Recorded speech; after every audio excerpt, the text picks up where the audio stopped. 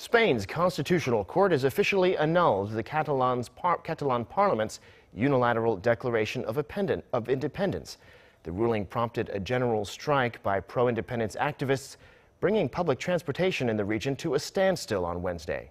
Ram has the details. In a widely expected ruling, Spain's Constitutional Court ruled on Wednesday to annul the Catalan Parliament's unilateral declaration of independence.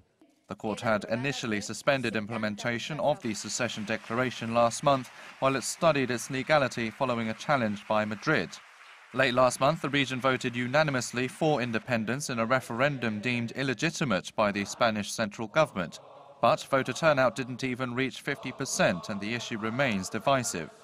The court's ruling came as pro-independence protesters closed roads and severed transport links in Catalonia, mostly heading in and out of Barcelona.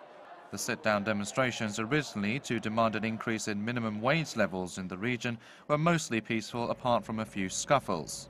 They were quickly adopted by pro-independence activists to demand the release of imprisoned Catalan politicians and to protest Madrid's imposition of direct rule. They were also chanting the name of ex-leader Carles Puigdemont and referring to him as, quote, our president. He, along with his ex-ministers, face several charges including rebellion and are scheduled to appear in court in Belgium next Friday. Meanwhile, in an interview with the BBC, Spain's Foreign Minister Alfonso Dastis said Madrid is considering constitutional changes that could allow its regions to hold referendums on independence in the future. However, he said the issue would be voted upon in a nationwide vote, adding the decision would have to be taken by all Spaniards. Ro Aram, Arirang News.